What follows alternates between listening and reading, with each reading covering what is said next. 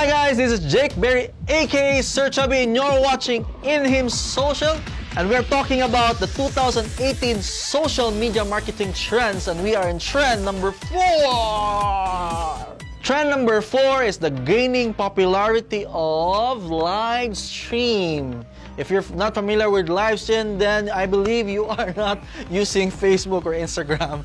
And what started as a gimmick, something that's cool to do or fun to do with your friends, is now marketers are using, especially in Europe, Australia, and America, marketers are using it as a raw way of marketing videos and teaching and educating your possible clients or possible prospects that will become your friends and eventually will follow you and become your loyal customers.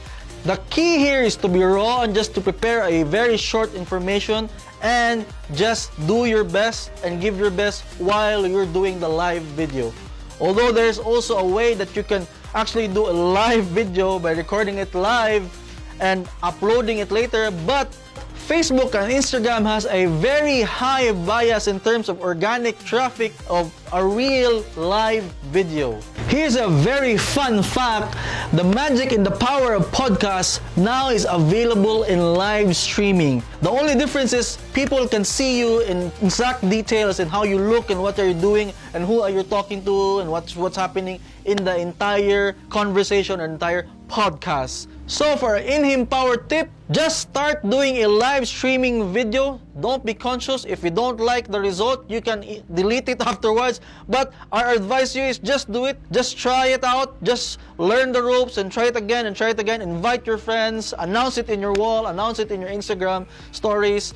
Just do a live streaming now. Again, thank you for watching In Him Socials. Hope you enjoyed. Please like and share if you find this informative.